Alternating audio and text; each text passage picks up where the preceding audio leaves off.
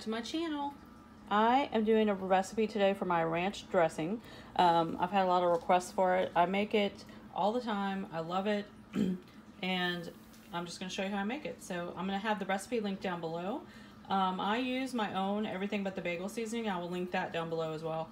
Um, or put it in the description box so that you guys have the recipe for that if you want to. Um, so here are the players in the game. You need Duke's mayonnaise or whatever mayonnaise you want. I've said before, I use Primal when I'm making like my sandwich roll-ups and things like that. Um, but I use Duke's when I'm making dressings and things because it comes in a larger container and it's not quite as expensive to be using all up to make a dressing. Um, so that's what I use for that. Um, but you use what you use, it's all good. So you're gonna need uh, mayonnaise, you're gonna need everything but the bagel seasoning.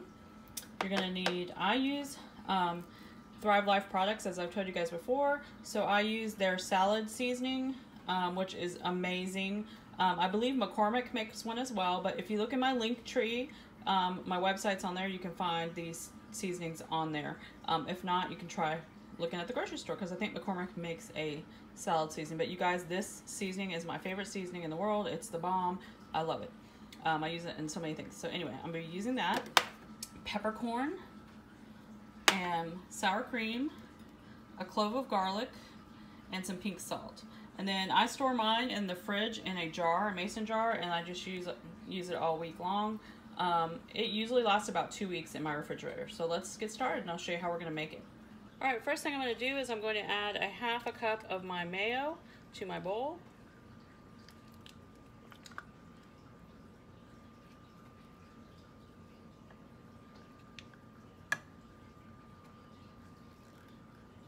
And then I'm going to add a half a cup of my sour cream.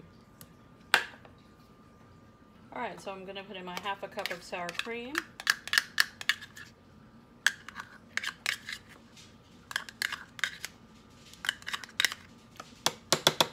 And then I'll start adding my spices. So I'm gonna do a teaspoon of my pink salt,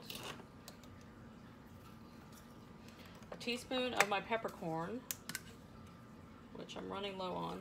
So I'm just gonna do it this way. So I think that's about a teaspoon. All right, so a teaspoon of peppercorn. Then I'm gonna do a tablespoon of my everything but the bagel seasoning. I'm gonna give it a good mix before I do it. Tablespoon of that.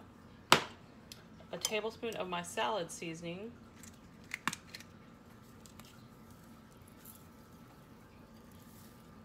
Maybe a tablespoon and a half. I like a lot. All right.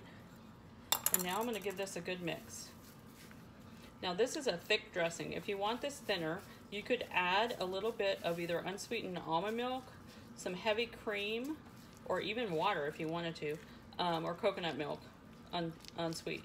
Um, just depending. It does. It the coconut milk kind of affects the flavor a little bit. Um, the heavy cream doesn't, obviously. Um, but I like it thick. Um, it still blends well with your salad. You can use it to dip in. Um, if you wanted to use it as a dip for a party, you could do that as well. Um, it's really good right away, but it's even better once you put it in the fridge for a little bit.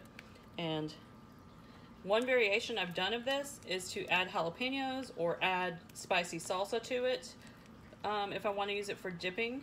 Also, if, I, if I'm eating like a taco salad, I've mixed the jalapeno uh, with it or the salsa just to give it like a spicy dressing that's besides just salsa. So I've done that before too. And that is it, guys. That is my ranch. It's so good. I also forgot the clove of garlic, so I'm going to put the clove of garlic in there and mix it up. Now the garlic's in, it's all done. All right, guys, I hope you uh, make this recipe. Let me know if you like it down below. Comment down below if you have any other variations of ranch dressing that you like to make or other dressings. Um, and I will um, see what I can do in other videos. So hopefully I'll see you tomorrow in the next video. So please like and subscribe down below if you have not already. I will see you guys in the next video.